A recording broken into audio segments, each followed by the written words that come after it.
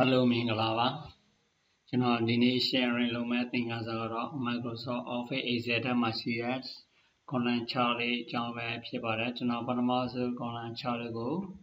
ခွဲပို့တာ Microsoft Office Excel ကိုဖိလိုက်ပါပြီအဲ့ဒီထက်မှာကျွန်တော်ဒီနေ့ရှင်းပြပေးမယ့် sharing လုပ်မယ့်သင်ခန်းစာကတော့အချင်းချတိုင်းပဲဖြစ်ပါတယ်ပထမဆုံးကျွန်တော်အရင်ဆွဲထားတဲ့ဒီ column chart လေးကို copy ကူးလိုက်ပါမယ်ပြီးတော့ဆိုရှင် copy ကိုနှိပ်လိုက်ပါ အာအောက်မှာနေရာတော့တစ်ခုမှာ right click နေရော save on right click နေရော paste ကိုနှိပ်လိုက်ပါဒီကောင်လေးကိုကျွန်တော် column chart လေးကိုချိန်ပြီးတော့ပေါ်ပြပေးမှဖြစ်ပါတယ်ဒါဆိုရင်တော့ဒီဒီကျွန်တော် column chart လေးကို select မှလိုက်ပါဒီဆွဲထားတဲ့ဒီ column chart လေးကို select မှလိုက်ပါပြီးတော့ဆိုရင် right click နှိပ်လိုက်ပါပြီးတော့ဆိုရင်ကျွန်တော်တို့က change chart type ကိုရေးလိုက်ပါ right click နဲ့ change chart type ကိုရေးလိုက်ပါအဲဒီမှာကျွန်တော်ကဒီ ဒီဒီ column နေပြီးတော့ကျွန်တော်မိမိနဲ့တည်းတဲ့ column design များကိုလည်းရွေးချယ်ပြီးသူပြုလို့ရနိုင်ပါတယ်ဒီ column လေးကို right click နဲ့လည်းပါပြီးသွားဆိုရင် ခြေချတိုက်ကိုနှိပ်လိုက်ပါအဲဒီမှာကျွန်တော်တို့ကအာဒီပိုင်ချနေတဲ့ကိုနေတဲ့ပိုင်ချလေးနဲ့သုံးချင်လည်းရနိုင်ပါသေးတယ်မိမိနဲ့တဲ့ design လေးတွေဒီထဲမှာရွေးချယ်ပြီးတော့သူပြုရနိုင်ပါသေးတယ်ခြေချတိုက်ရေးပြီးတော့ကျွန်တော်တို့တွေကဒီမှာဒီ corner chart မှာ ကျွန်တော်တို့တွေကဒီဒီ 3D design လို့ချင်းတဲ့ 3D design ကိုရေးလိုက်ပါပြောဆိုရှင် select မှတ်လိုက်ပါခြေချတိုက်ရေးပြီးတော့ကျွန်တော်တို့တွေကနီ normal ပုံစံတိုက်ရေးဆို normal ပုံစံလေးကိုရေးလိုက်ပါ okay အဲ့ဒါလေးကိုကျွန်တော်တို့က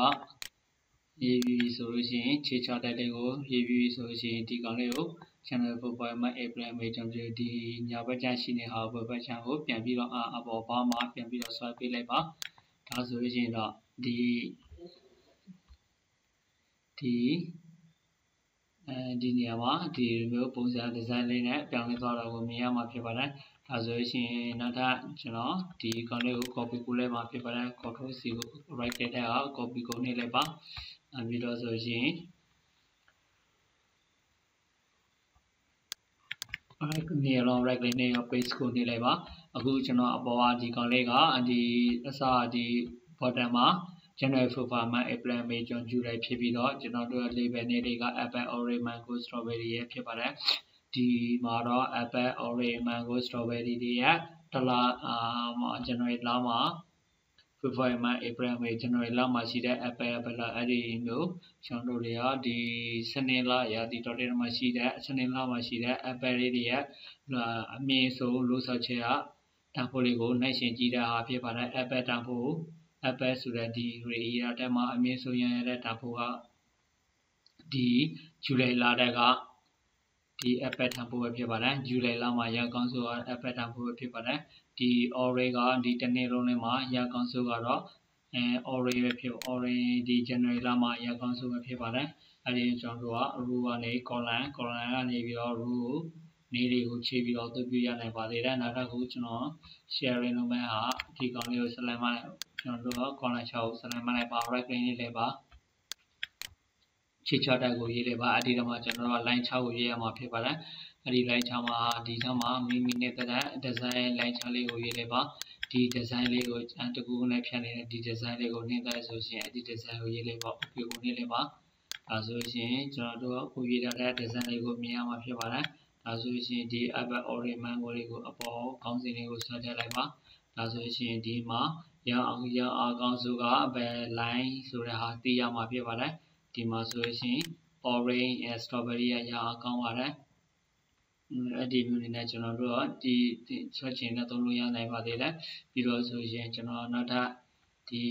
ကောင်လေးကိုပဲကျွန်တော်ဒီပုံစံပြတခြား design ချခြင်းဆိုရင်ဒီ color ချောက် select မှလိုက်ပါပြီးတော့ဆိုရင်ခြေချတိုက်ကိုထားပြီးတော့ရေးလိုက်ပါအဲ့ဒီတော့မှဒီတော့မှကျွန်တော်ဒီပုံစံ design လုပ်ခြင်းနဲ့ဒီပုံစံလေးကိုဒီပုံစံလေးကိုရေးလိုက်ပါ okay ကိုနှိပ်လိုက်ပါ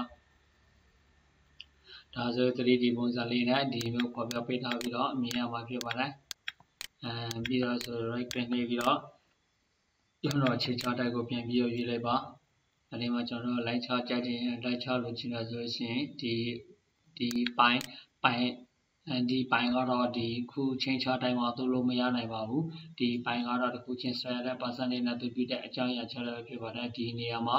အချင်းချတိုင်းမှာပိုင်းချကိုတော့လုံးဝသုံးလို့မရပါဘူးအဲ့ဒါလေးကိုတော့တတိထားရမှာဖြစ်ပါတယ်နောက်ပြီးတော့ဒီမှာအာ horizontal ပြီးရင်ကျွန်တော်တို့ကဒီ area ဒီပုံစံ design ပြောင်းချင်တဲ့ဒီပုံစံ design လေးကိုရေးလိုက်ပါ okay ကိုနေလိုက်ပါ အဲဆိုရင်ကျွန်တော်တို့ကကိုလိုတဲ့ design လေးကိုပြောင်းလဲပြီးဖော်ပြပေးထားတာကိုမြင်ရမှာဖြစ်ပါတယ်အဲတော့ဒီပုံစံလေးကိုကျွန်တော်တို့ right click နေပြီးတော့ခြေချတက်ကိုပြန်ရေးလိုက်ပါအဲ့ဒီမှာကျွန်တော်တို့ကဒီ line 6 column 6ကပြန်ရေးလိုက်မှာဖြစ်ပါတယ် column 6 column 6မှာဒီရိုးလေးပဲရေးလိုက်မှာဖြစ်ပါတယ်အဲအဲ့ဒီပြီးတော့ဆိုရှင် okay ကိုနေလိုက်ပါငါကိုပုံစံတိုင်းပြန်ရပါပြီအဲ့ဒီမှာကျွန်တော်တို့ကခြေချတိုက်နေပြီးတော့ ဒီ a star လေးတွေကကျွန်တော်ထပ်တိတ်ပြီးတော့အာသူ့နေရာနဲ့သူ့အောက်ကြောင်းတော့သူ့လို့ရနိုင်ပါသေးတယ်အခုချိန်မှာကျွန်တော်နောက်တစ်ခုပြောမယ့်ဟာဒီ combo လေးပဲအကြောင်းပဲဖြစ်ပါတယ်ဒီ combo ဆိုတဲ့ဟာမိမိ okay ကို miss ဒီ okay ဒီ combo combo ရေးလိုက်ပါပြီးတော့ဆိုရှင် okay ကိုနေလိုက်ပါဒါဆိုရင်ဒီမျိုး line လေးဖြာထားပြီးတော့ဖော်ပြပေးတော့ကိုမြင်ရမှာဖြစ်ပါတယ် ဒီဘက်မှာ value တန်ဖိုးပြီးပြီးတော့ဒီညာဘက်ခြမ်းမှာ value တန်ဖိုးကိုဖော်ပြချင်တဲ့ဆိုရင်ဒီ corner 6 select မှလိုက်ပါရှင်းချတက်ကိုနေလိုက်ပြီးတော့ဒီနေရာမှာမှတစ်ခုကိုထည့်လိုက်ပါ okay ကိုပေးလိုက်မှဆိုရင်ဒီဘက်ဘက်ခြမ်းရောညာဘက်ခြမ်းမှာဒီခုလုံးတန်ဖိုးလေးတွေကိုဖော်ပြပေးထားတော့ကိုမြင်ရမှာဖြစ်ပါတယ်ဒီကလုံးမိမိရဲ့ဒီမျိုးဆွဲလိုက်လို့ corner လေးကတအားရှိသွားပြီဆိုရင်ကျွန်တော်တို့ကဒီညာဘက်ခြမ်းနဲ့ဘယ်ဘက်ခြမ်းတန်ဖိုးလေးကိုနှိုက်ရှင်ပြီးတော့ အဲကြီးတဲ့ချိန်မှာဆိုလို့ရှိရင်ဆင်ပြေလို့ဆင်ပြေဖို့အတွက်ဒီဘယ်ဘက်ခြမ်း array area မှာထပ်ပေးရမှာဖြစ်ပါတယ်ညာဘက်ခြမ်း array area မှာလည်းထပ်ပေးရမှာဖြစ်ပါတယ်အာနောက်တစ်ခုကတော့ဒီ column 6မှာကျွန်တော်တို့တွေကဒီ line 6နှစ်ခုကို line 6တစ်ခုတည်းအနေဖြင့်ပြောင်းပြီးတော့ဖော်ပြခြင်းတယ်ဆိုလို့ရှိရင်ကျွန်တော်တို့အမြင့်ဆုံး line 6တစ်ခုကိုဖော်ပြပေးမှာဖြစ်ပါတယ်အဲ့ဒီတော့မှကျွန်တော် line 6တစ်ခုအမြင့်ဆုံးဖော်ပြခြင်းတဲ့ဟာဒီ strawberry ကြောင်းပဲဖြစ်ပါတယ် ဒါဆိုရင် strawberry grade ဆိုတဲ့ဟာလေးကိုကျွန်တော်ပြန်ပြီးတော့ contact တဲ့ column 6ကိုပြောင်းလိုက်မှာဖြစ်ပါတယ်ဒါဆိုရင်ဒီဂျူကန်6ကိုဆက်လက်မှပြီးတော့အခြေချတိုက်ကိုနေလိုက်ပါအဲ့ဒီကြမှာကျွန်တော်တို့ကဒီမှာဒီနေရာမှာ